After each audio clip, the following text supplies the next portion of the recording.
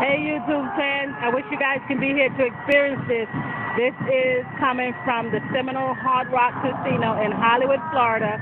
And what they're doing, they're playing videos, really cool um, hit songs, and they're projecting the videos off of the water mist that's in the middle of this great big pond that they have out here. Um, I hope the video picks up the images, but if not, come down to the Seminole and check it out.